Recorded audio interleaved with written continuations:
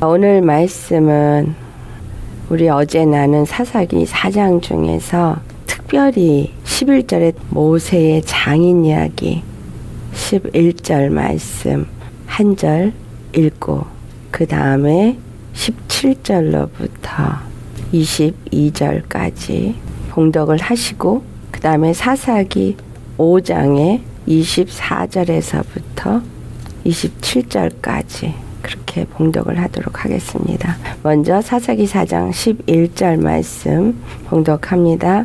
모세의 장인 호밥의 자손 중 겐 사람 헤벨이 자기 족속을 떠나 게데스에 가까운 사하나님 상수리 나무 곁에 이르러 장막을 쳤더라. 17절로부터 시스라가 걸어서 도망하여 겐 사람 헤벨의 아내 야엘의 장막에 이르렀으니 이는 하솔 왕 야빈과 겐 사람 헤벨의 집 사이에는 화평이 있음이라.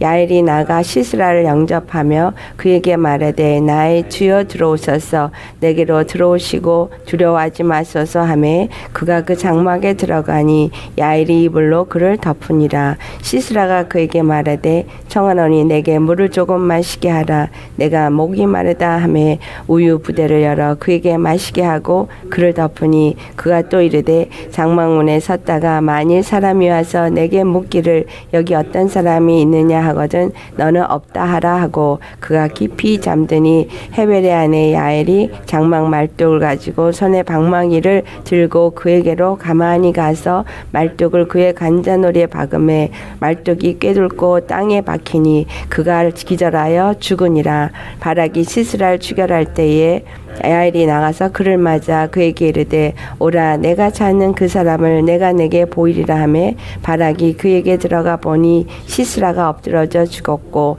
말뚝이 그의 관자놀이에 박혔더라. 사사기 5장 24절로부터 겐 사람 헤벨의 아내 야엘은 다른 여인들보다 복을 받을 것이니 장막에 있는 여인들보다 더욱 복을 받을 것이로다. 시스라가 물을 구하며 우유를 주되 곧 엉긴 우유를 그 귀한 그릇에 담아 주었고 손으로 장막 말뚝을 잡으며 오른손에 일꾼들의 방망이를 들고 시스라를 쳐서 그의 머리를 뚫때곧 그의 간자놀이를 꿰뚫었도다. 그가 그의 발 앞에 꺼부러지며 엎드러지고 쓰러졌고 그의 발 앞에 구부러져 엎드러져서 그 구부러진 곳에 엎드러져 죽었도다. 아멘. 오늘은 겐 사람 헤벨의 아내 야엘의 믿음에 대한 말씀을 우리가 나누어 보도록 하겠습니다. 그러기 위해서는 먼저 이 겐 사람이 어떤 사람인가부터 우리가 살펴보아야겠죠. 11절 말씀에 모세의 장인은 겐 사람이라고 말씀하고 있습니다. 16절에 또한 그와 같이 말하고 있죠. 모세 장인 호밥 자손 중 겐 사람 헤벨이라고 지명을 분명하게 말씀하셨습니다. 분명하게 이 겐 사람 헤벨의 이야기를 주님은 말씀하고 싶어서 11절에 동그라미 하나가 딱 있고 12절에 다시 시스라의 이야기로 넘어가면서 그만큼 모세장이 호밥의 자손 중 겐 사람 헤벨이 어떠한 역할을 하기 때문입니다. 자, 모세 장인이 겐 사람 헤벨이라고 한 이 말을 언뜻 읽을 때는 어 이상하다라고 생각할 수 있습니다. 왜냐하면 모세의 장인은 이드로라고 했는데 라고 생각할 수 있죠. 출애굽기 18장 1절에는 미디안 제사장 이드로가 모세의 장인이라고 말합니다. 그래서 모세의 장인 이드로가 바로 똑같은 사람이에요.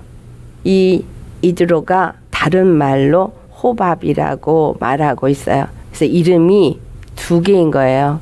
이드로 또는 호밥. 민수기 10장 29절 29절 말씀에 모세가 모세의 장인 미디엔 사람 루엘의 아들 호밥에게 이르되 이렇게 말합니다. 미디안 사람 루엘의 아들 호밥이 모세의 장인이라고 분명하게 민수기 20장 29절에도 말씀하죠. 그리고 그에게 이르기를 여호와께서 주마하신 곳으로 우리가 행진하나니 우리와 동행하자 그리하면 선대하리라 여호와께서 이스라엘에게 복을 내리리라 하셨느니라 이렇게 미디안 장인에게 모세가 청을 합니다. 같이 가자고. 그랬을 때 호밥이 나는 가지 아니하고 내 고향 내 친족에게 가리라 라고 거절을 합니다. 즉 이가 거절을 하면 모세의 청을 듣지 아니하고 다시 돌아가면 그는 미디안 족속 자기의 겐 족속에게 돌아가는 것이죠. 그런데 모세가 그 장인에게 가자고 강권을 합니다. 그게 31절, 32절 말씀이에요. 우리 같이 한번 찾아서 봉독해 볼까요? 민수기 10장 31절, 32절. 같이 봉독합니다. 모세가 이르되 청하건대 우리를 떠나지 마소서 당신은 우리가 광야 이렇게 진칠지를 안하니 우리의 눈이 되리이다. 우리와 동행하면 여호와께서 우리에게 복을 내리시는 대로 우리도 당신에게 행하리이다. 모세가 자기 장인에게 약속을 합니다.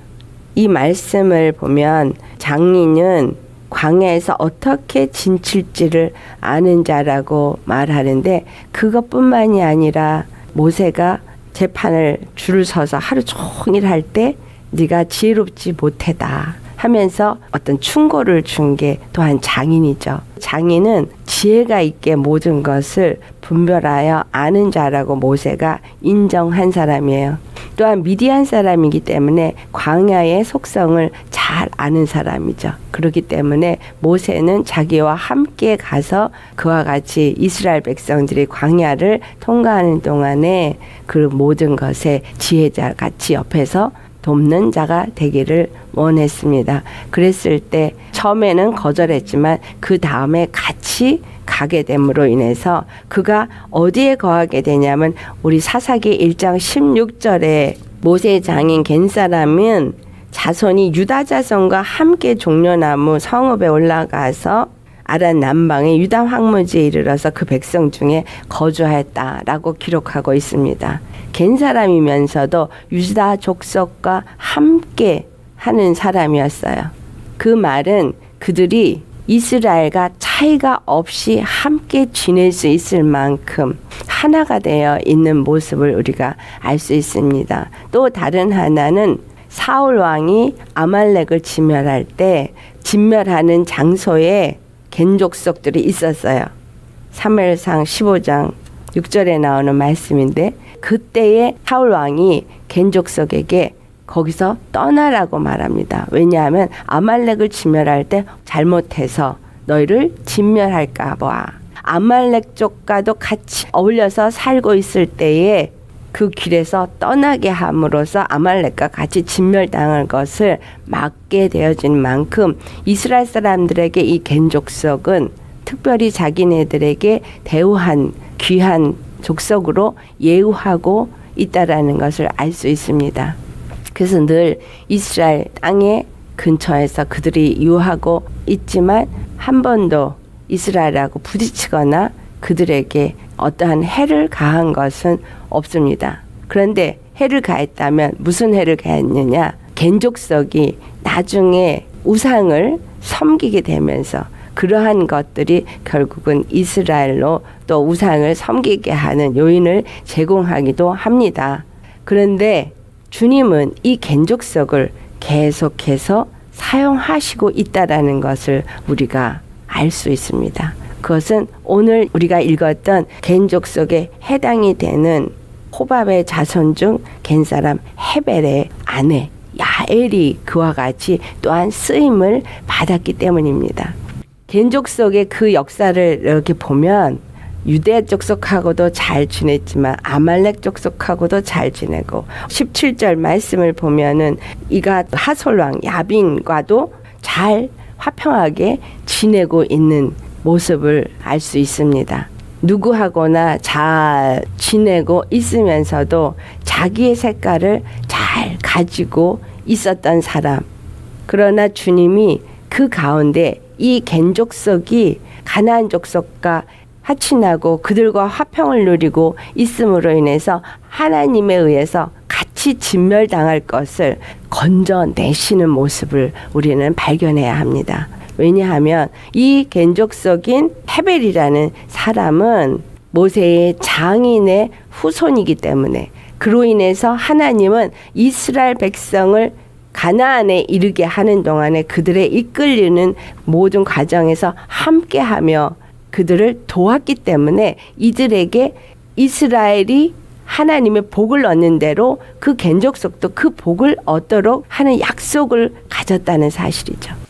야엘이라는 헤벨의 아내를 주님이 사용하신 것은 룻기에서 엘리멜렉의 다 잃어버린 기업을 룻을 통해서 회복시키게 한 것처럼 믿음의 여인을 통해서 이 겐족석이 진멸을 당할 것에서부터 건져낸 사건이라는 거예요. 기생 나합도 여리고가 무너진다 할지라도 기생 나합의 믿음이 자기의 전 가족을 살렸던 것처럼 야엘은 겐족석이 진멸하고 자기 집안이 진멸하는 것을 원하지 아니했기 때문에 믿음으로 그 시스라를 못 박아 죽이는 일에 참여하게 되었다라는 겁니다. 결국 그 여인이 믿음으로 그 일을 함으로 인해서 드보라와 바락이 노래를 지어서 노래를 부를 때에 노래 가운데 그 이름이 들어가는 자가 되었다. 그 여인은 여인 중에서도 복을 받은 여인이 되어 진다라고 말씀합니다.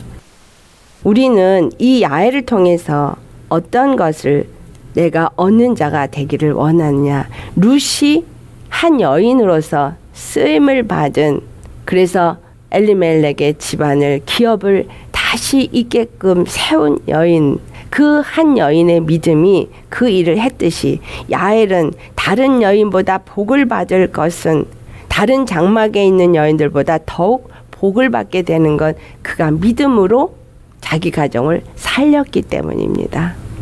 우리가 이 겐족석에 대해서 잘 살펴볼 필요가 있는 것은 훗날 이 겐족석에서는 내갑이라는 사람이 나옵니다. 이 네갑이라는 사람은 어떤 사람이냐?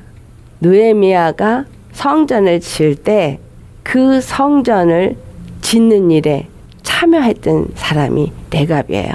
이방 족속이면서도 이스라엘이 광야를 통과할 때 거기에 동참을 했고 또 이스라엘과 함께 이스라엘이 누리는 것을 누리는데 전혀 무리가 없었고 그가 이루는 곳마다 그가 머무르는 곳에 어디든지 머무르는 것을 알 수 있습니다. 유다 지파와 함께 머물렀다. 나중에는 그 납달리 땅 게데스 그쪽에 가서 또 머무르고 그들이 옮겨가는 곳에 머무르고 싶은 곳에 다 머무르도록 이스라엘 사람들이 그들에게 땅을 내어 준 것을 알 수 있습니다. 훗날에는 느헤미야가 제 예루살렘 성전을 지을 때에 레갑 사람이 또한 문을 짓는 일에 동참하게 되는 것도 기록하고 있습니다. 예레미야서 35장을 가보면 레갑 사람이 어떤 일을 했는가를 기록하고 있습니다. 여호와께서 예레미야 35장 2절에 요시아 왕 여호야김 때에 예레미야에게 말씀이 임합니다. 내갑 사람들의 집에 가서 그들에게 말하고 그들을 여호와의 집 한방으로 데려다가 포도주를 마시게 하라고 합니다. 그래서 그 레갑 사람들을 다 데리고 방에 들어와서 레갑 사람들의 후손들 앞에 포도주가 가득한 종지와 술잔을 놓고 마시라고 권합니다. 6절 말씀을 보면 그들이 이르되 우리는 포도주를 마시지 아니하겠노라. 레갑의 아들 우리 선조 요나답이 우리에게 명령하여 이르기를 너희와 너희 자손은 영원히 포도주를 마시지 말며 또 7절 너희가 집도 짓지 말고 파종도 하지 말며 포도원을 소유하지도 말고 너희는 평생 동안 장막에 살아라. 그리하면 너희가 머물러 사는 땅에서 너희 생명이 길리라라고 했다고 해서 이 사람들이 300년 동안을 장막에서 살았고 전혀 포도주를 마시지 않았습니다. 이 사람들이 예레미야에게 말하기를 우리는 그렇게 이제까지 포도주도 먹지 않고 장막에 살면서 명령한 대로 다 지켜 행하였노라. 그리고 바벨론 누부갓네살 왕이 이 땅에 올라왔을 때 우리가 말하길 갈다인의 군대와 수리아인의 군대를 피하여 예루살렘으로 가자고 우리가 예루살렘에 살았노라. 이들은 바벨론의 사람들 군대들을 피하여서 예루살렘에 들어가서 살면서 바벨론의 지배도 받지 않을 수 있는 기회를 찾아서 자기네들 살 곳을 마련해서 나아가며 장막을 치고 살았던 것을 말씀하고 있습니다. 주님은 이러한 내갑 사람들을 칭찬합니다. 신실하신 하나님이 약속하신 대로 그 모든 일을 이루시고 이스라엘에게 가나안 땅을 주셨음에도 불구하고 그 가나안 땅의 일곱 족속을 다 진멸하도록 명령하시고 그리고 여호와께서 그렇게 하게 하시겠다고 약속하셨음에도 불구하고 그들은 여호와를 버리고 다른 신을 섬기고 여호와의 명령의 말씀을 우습게 여기고 지키지 않았습니다. 이 레갑 사람들은 자기 조상이 한 말 하나를 하나님도 아니에요. 자기 조상이 한 말 그 말을 지키기 위해서 300년을 장막에 살고 포도주를 마시지 않았어요. 그런데 어찌 너희는 아브라함에게 말한 것, 이삭에게 말했고, 야곱에게 말하고, 맹세하고, 그 맹세한 대로 그 모든 일을 이루시며, 광야에 40년 광야 생활을 할 때도 주님이 그들과 함께 했던 것을 경험하게 하였고, 다른 사람들이 경험하지 못한 이적과 표적을 수없이 경험하고, 주의 말씀을 그들과 약속을 세우고 할례라는 표징을 그 몸에 갖게 하였음에도 불구하고 그들은 여호와의 말씀을 지키지 아니하고 다른 신을 섬기고 여호와를 버렸다는 거예요. 이 레갑 자손은 비록 유대인이 아니라 미디안 족속의 겐족속에 해당되는 사람이지만 그러나 그들은 자기의 조상의 말을 지키기 위해서 이와 같이 하였는데 이스라엘 사람들은 하나님 앞에 끊임없이 반역하고 범죄했기 때문에 예레미야에게 이것을 보여주게 한 겁니다. 그 사람들을 데려다가 포도주를 마시게 하라. 그랬더니 그 사람들은 우리는 포도주를 마시지 않겠노라. 그 명령을 우리는 실행해야 하기 때문에. 14절, 15절, 16절 말씀 같이 우리 어, 봉독하겠습니다. 레갑의 아들 요나, 요나답이 그의 자손에게 포도주를 마시지 말라 한 그 명령은 실행되도다. 그들은 그 선조의 명령을 순정하여 오늘까지 마시지 아니하거늘 내가 너에게 말하고 끊임없이 말하여도 너희는 내게 순정하지 아니하도다. 내가 내 종 모든 선지자를 너에게 보내고 끊임없이 보내며 이르기를 너희는 이제 각기 악한 길에서 돌이켜 행위를 고치고 다른 신을 따라 그를 섬기지 말라 그리하면 너희는 내가 너희와 너희 선조에게 준 이 땅에서 살리라 하여도 너희가 귀를 기울이지 아니하며 내게 순종하지 아니하였느니라. 내가 베아들 요나답의 자손은 그의 선조가 그들에게 명령한 그 명령을 지켜 행하나 이 백성은 내게 순종하지 아니하도다 17절 말씀. 그러므로 만군의 여호와 이스라엘의 하나님께서 이와 같이 말씀하시느니라. 보라 내가 유다와 예루살렘의 모든 주민에게 그들에게 대하여 선포한 모든 재앙을 내리리니 이는 내가 그들에게 말하여도 듣지 아니하며 불러도 대답하지 아니함이니라 하셨다 하라 18절이 같이 봉독합니다. 예레미야가 레갑 사람의 가문에게 이르되 만군의 여호와 이스라엘 하나님께서 이와 같이 말씀하시기를 너희가 너희 선조 요나답의 명령을 순정하여 그의 모든 규율을 지키며 그가 내게 명령한 것을 행하였도다. 19절 그러므로 만군의 여호와 이스라엘 하나님께서 이와 같이 말씀하시니라 레갑의 아들 요나답에게서 내 앞에 설 사람이 영원히 끊어지지 아니하리라 하시니라. 이스라엘이 착각하고 있는 것은 하나님은 이스라엘의 하나님이라고 착각하는 것입니다. 겐족 속의 후손 중에 레갑 사람들 이들은 그 자기 조상의 말에 순정한 것을 하나님이 어여삐 보시고 그를 축복하는 것을 기록하고 있습니다. 주님이 우리에게 원하고 보고자 하시는 것은 무엇이라는 거예요? 말씀에 순종하는 믿음이라는 거예요. 주님은 그 겐족석을 축복하고 이와 같은 축복의 자손이 될 수 있게끔 한 건 하나님은 신실하신 하나님이시기 때문이에요. 모세가 약속한 그 약속을 하나님은 그대로 실행에 옮기신 하나님이에요. 이스라엘에게 유익을 줬기 때문에 그들은 하나님이 야훼를 통해서도 진멸받는 길에서 그들을 건져내시고 또한 그들은 이와 같이 하나님의 복을 받는 족속이 되게 합니다. 우리가 예수를 믿는다고 말하면서 교회를 다닌다고 복을 받는 것이 아니라 주의 말씀을 어떻게 받아들이고 그것을 어떻게 순종하느냐가 중요하다는 거예요. 주님을 믿는다고 아멘 하고 교회 가서 열심히 신앙생활하고 봉사하면서 내 삶에 예수님이 주인이 안 돼 있다면 내 모든 결정권이 나에게 주어지고 내 감정에 치우쳐서 움직인다면 그것은 바로 범죄한 유다와 이스라엘과 똑같은 것입니다. 주님이 우리에게 원하는 것그 신실하신 하나님 변함없이 약속하신 대로 지키시고 그 지키시는 것을 시간을 두고 일하시면서 결국은 성경이 기록되게 하셨고 예수님이 십자가에서 죽으시고 부활하시면서 그 모든 일들을 우리에게 알게 하시고 보게 하시고 듣게 하시고 오늘 믿게 하시도록 성령님이 우리 안에 임하셨고 신실하신 하나님은 하나도 번개치 아니하시고 그 모든 일을 이루셨다는 사실이에요. 그러면 우리가 그를 믿는 믿음은 어떤 믿음이어야 되는 거냐 하면 바로 신실한 믿음이어야 된다는 거예요. 이 레갑자선처럼 신실한 믿음 그 믿음으로 조상의 말에도 순종하여서 그들은 300년을 장막에서 살고 집에 거하지 않았고 절대로 포도주를 입에 대지 아니함으로 인해서 하나님의 복을 받을 수 있었던 것. 그것은 그들의 신실함입니다.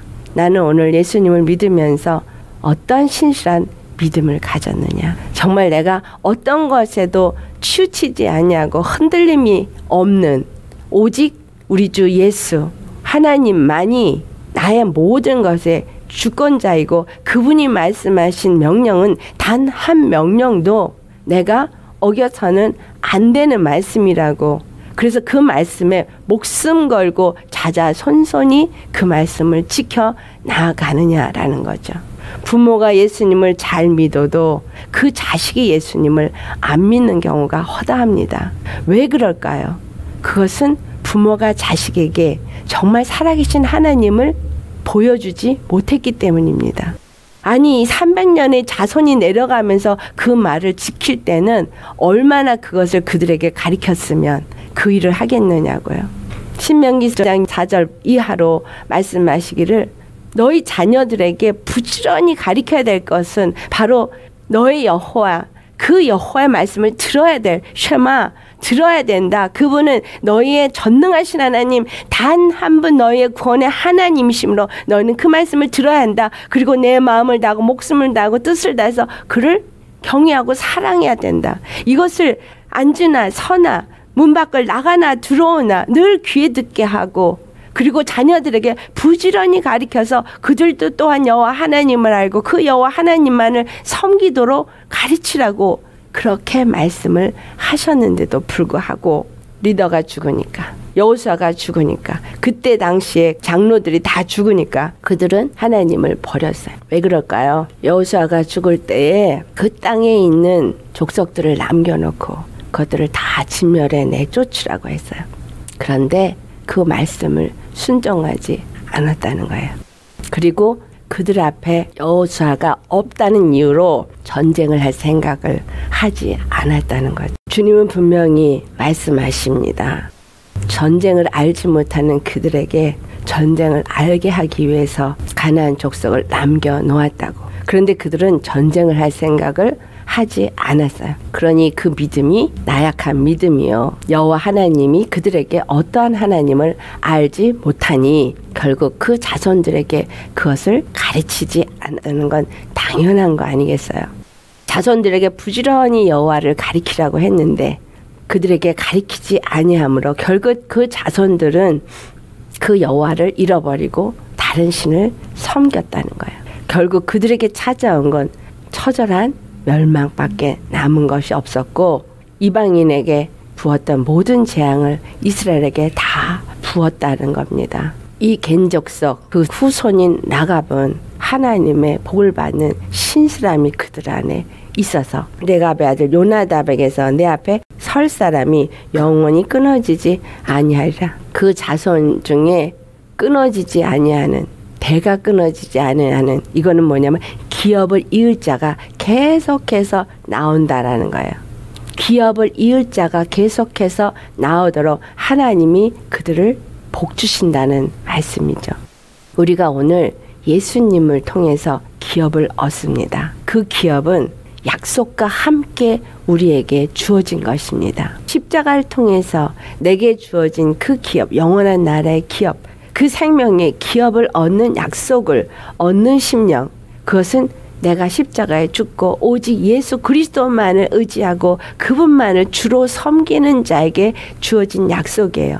그리고 이 약속이 천대 이른다고 말씀하셨어요. 근데 이 천대 이른다는 것을 내가 알고 어 천대에 이르도록 주님이 축복하실 거야. 그리고 전혀 내 자식에게 이것을 가르쳐서 알게 하지 아니하면 그들이 어찌 그것을 알며 어찌 주님을 섬기겠느냐라는 거죠. 고통 가운데서 하나님의 진노를 받는 이스라엘과 같이 결국 다른 신을 섬김으로 여호와의 진노를 받게 되고 고통 가운데 놓이게 되어지는 일이 그들에게 있게 되어지고 결국에는 완전한 멸망에 이르게 되고 이방 족속의 종살이를 하게 된다라는 거죠. 내가 먼저 믿음이 어떤 믿음을 가져야 되느냐? 여호와의 말씀이 한 말씀이라도 그 하신 말씀을 아멘으로 받으면 그 신실한 믿음으로 그 말씀을 순종하는 자가 되어야 한다라는 거예요.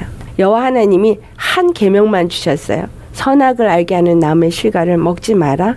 그런데 그 선악을 알게 하는 나무의 실과가 보암직하고 먹음직하고 지혜롭게 할 만큼 탐스럽다고 그랬어요.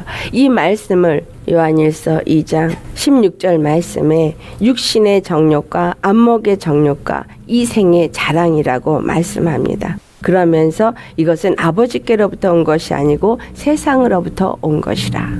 그렇다면 선악을 알게 하는 나무의 실과를 먹지 말라는 한 계명을 받았을 때 그 말씀을 지키지 아니했던 하와 그리고 그것을 먹음으로 인해서 죄가 들어오게 하는 통로가 되어졌었던 것. 그러나 이 야엘은 믿음으로 집안을 살리는 사람이 되었어요. 어느 여인은 죄가 들어오게 하는 통로요. 어느 여인은 집안을 살리는 통로가 되어집니다. 우리는 예수 그리스도 안에서 여인이죠. 이 땅에 있는 모든 자들은 다 여자입니다. 그러면 우리는 어떤 여인이 되겠습니까? 기업을 살리는 여인이 되겠습니까? 아니면 죄가 들어오는 통로가 되겠습니까?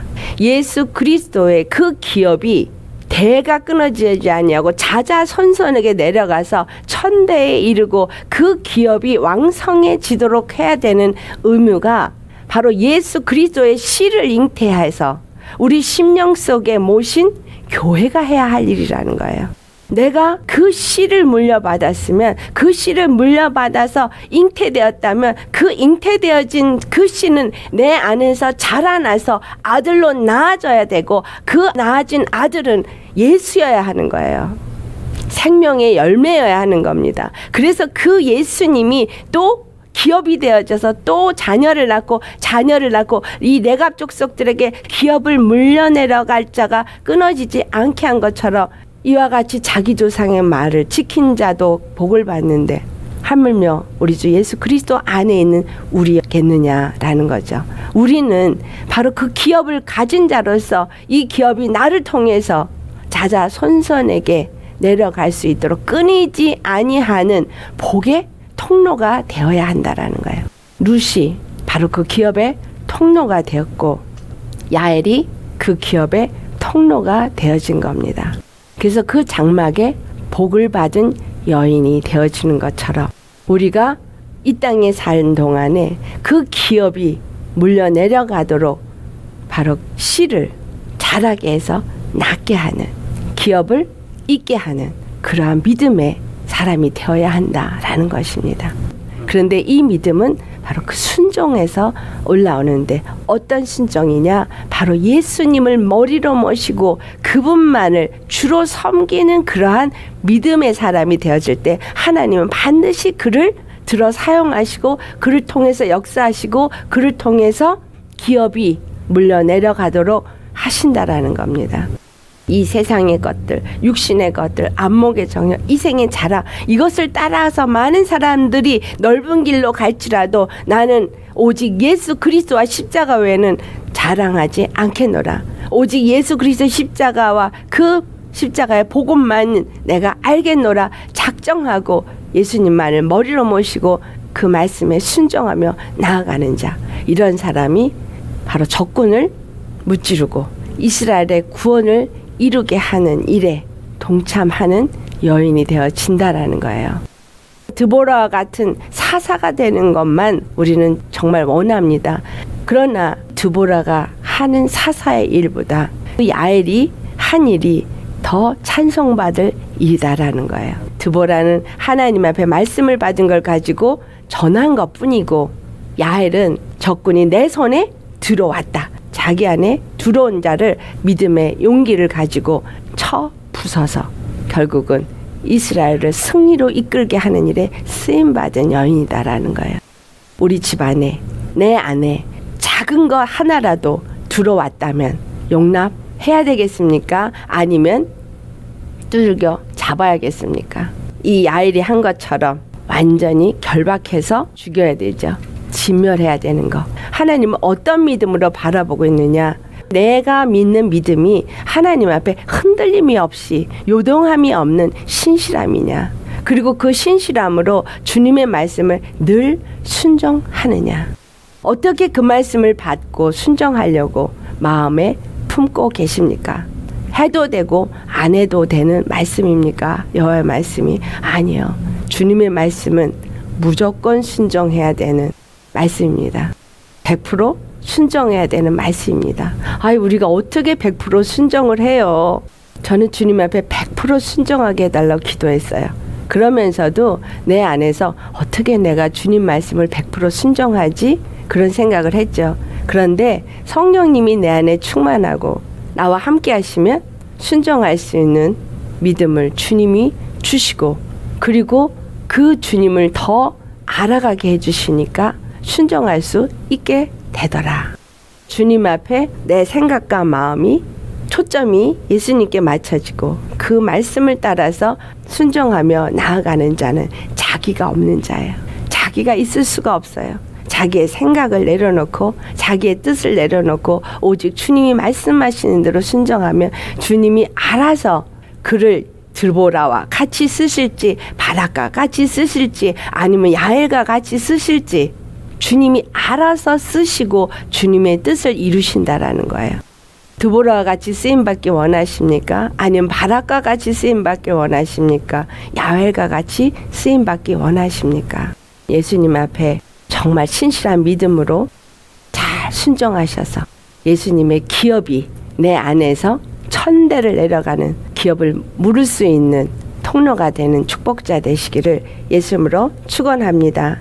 아멘. 할렐루야 거룩하신 하나님 아버지 정말 주님은 신실하신 하나님 그 신실하심을 말씀을 통해서 우리에게 알게 하시고 또 우리에게 신실한 믿음을 보고자 하심을 또 말씀을 통해서 깨닫습니다. 아버지 참으로 겐족 속그 레갑의 후손들이 그 조상에게 신실함을 보였던 것을 예레미야에게 보여주면서 이스라엘이 얼마나 범죄하는지를 비교한 것처럼 아버지 우리 믿음이 참으로 주님 앞에 이와 같았음을 고백합니다. 너의 말씀을 받을 때에 그 말씀을 무조건 아멘으로 받지 않았음을 회개합니다. 참으로 이유를 대어서 항상 우리는 타협하라고 하였습니다. 주님은 우리의 왕이요 우리의 주시기에 그 말씀하시는 대로 순종해야 되는데 그래서 육체의 정욕, 안목의 전욕, 이생의 자랑을 따라가지 말라고 이러한 것들은 하나님께로 온 것이 아니라 세상으로부터 온 것이라고 말씀하셨고 우리의 중력의 향해서 탐욕으로 주 앞에 구하는 것은 우상 숭배니 위의 것을 찾으라 말씀하셨는데 위의 것을 찾기보다 땅의 것을 생각했고 주님의 영광을 찬양한다 하면서도 우리는 우리 자신의 영광을 더 많이 생각했었습니다. 거룩하신 아버지, 이 시간 다시 한번 이 말씀을 통해서 우리에게 깨닫게 하신 주님, 이제부터 주님이 하라 하시는 말씀대로 하게 하시고 하지 말라 하시는 건 하지 않게 하여 주옵소서. 주님의 말씀대로 순종하도록 우리에게 신실한 믿음을 허락하여 주옵소서. 무엇보다 성령이 하시는 말씀을 분명하게 들을 수 있는 귀를 허락하여 주시옵소서. 주님이 말씀하시는 것을 분별하여 깨달아 알지 아니하면 내 생각과 내 마음이 올라온 것을 주님의 말씀으로 잘못 받을 수도 있기 때문입니다. 분명하게 주님이 주시는 말씀과 내 생각을 구별할 수 있는 분별력을 허락하여 주옵시고 주님이 말씀으로 말씀하시고 그 말씀을 통해서 깨닫고 분별하여 순종하게 하여 주옵소서. 길이 아닌 곳에 가지 말게 하시고 길이 아닌 곳에 서지도 말게 하시고 오직 주님이 인도하는 길에만 나아가며 주의 말씀을 늘 청정하며 주의 말씀을 또한 자녀에게 부지런히 가리키며 기업을 잇는 자가 우리 앞에 끊어지지 아니하도록 우리의 집안 대대 손선 천대 이르기까지 주 예수님만을 섬기고 주로 모시는 그러한 기업이 이루어질 수 있게 하여 주시옵소서. 이 말씀을 듣는 모든 반들이에 아버지께서 기름을 부으시고 신실한 믿음을 부어 주셔서 참된 믿음, 신실한 믿음으로 주님을 기쁘시게 함으로 주의 축복을 이 땅을 사는 동안에 받게 하시고 자자손손이 복을 받게 하여 주옵시고 악한 영이 틈타지 못하도록 주 안에 보호받게 하여 주시옵소서. 야엘이 담대하게 무너뜨린 것처럼 담대한 믿음으로 하나도 우리 안에 들어온 악한 것들을 용납하지 말게 하옵시고 반드시 주 예수의 이름으로 물리치게 하여 주시옵소서. 주님의 복이 우리 각 심령을 통해서 그 가정과 사업과 자손에게 넘쳐날 수 있기를 간절히 바라고 신실하신 우리 예수님의 이름 받들어 기도드리옵나이다. 아멘.